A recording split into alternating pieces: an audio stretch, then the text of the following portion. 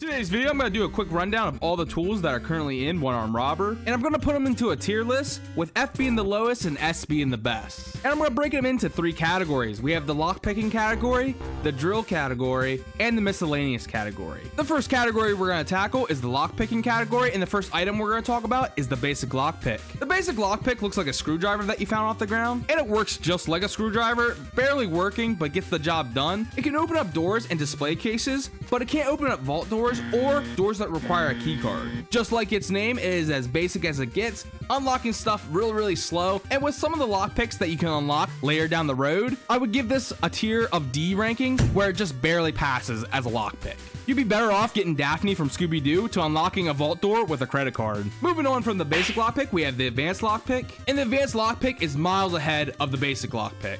Able to do what the basic lockpick does, but much faster. For starters, the look of the advanced lockpick either looks like a Swiss Army knife or the key to a car. So I recommend if you're doing heist stealthily, get the advanced lockpick as quick as you can to speed up your process through the heist. Now, if there was not another lockpick after this, I would give it a higher tier, but I'm gonna go with the B tier because it gets the job done, but we can get much faster. Which goes to our final lockpick in the category, the Expert Lockpick. Like its name, it is god tier in this category. It is much faster than Advanced Lockpick, and its design is based off of real lockpicks that are banned off of Amazon for working too well. Which means I'll give the Expert Lockpick an S rating, meaning you'll never go back to any other lockpick if you want to do a heist stealthily.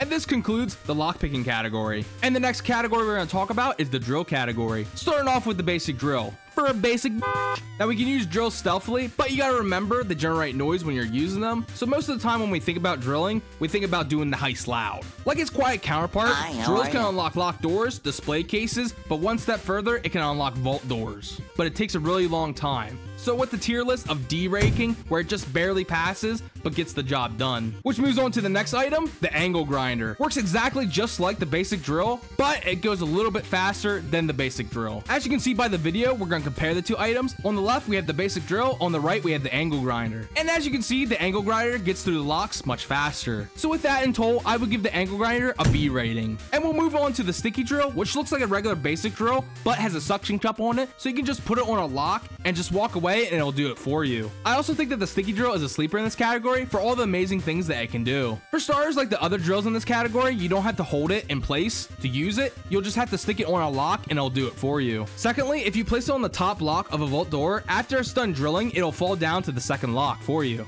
This way, while the vault door is being drilled, I can go into the next phase of my heist. And third, if you're going through the heist loud and you place the sticky drill on a lock and you have the drill safety skill, since you place it on a lock, you'll get the bonus of the drill safety skill, which means you'll take no damage for a certain amount of seconds depending on the tier you have. This way you can place it on a lock and fight the cops off without having your back turned. For all these reasons, this is why I give the sticky drill an A plus rating. Which moves on to the final tool in this category, the concrete breaker. This hunk of metal. If there's one good quality about the concrete breaker, it's speed. Speed, speed, speed. I mean, if you compare it to all the rest of the drills, it is no contest that the concrete breaker wins in all categories related to speed. But the problem with the concrete breaker is its massive size. Unlike the previous drills, which can fit into a loot bag, the concrete breaker, with a little bit of finesse, can fit into a loot bag, but most of the time it falls out. I would say the concrete breaker is the meme of this category for its big hulking size, but it gets the job done regarding speed. And for that, I'll give the concrete breaker a tier of A.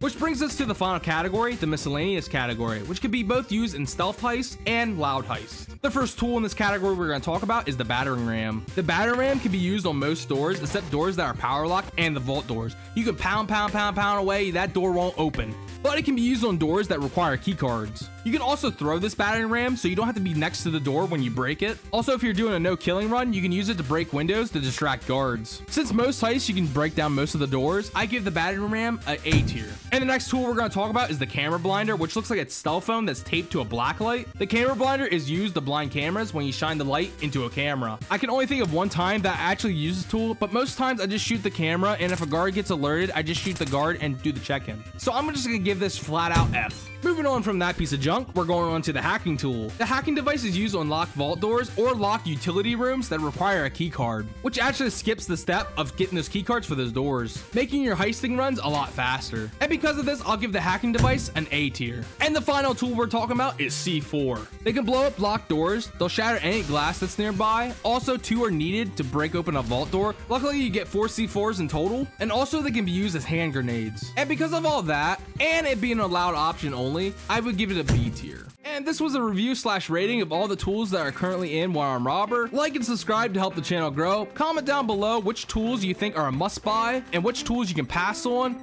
And like always, I hope you have a fantastic day and I'll see you in the next video.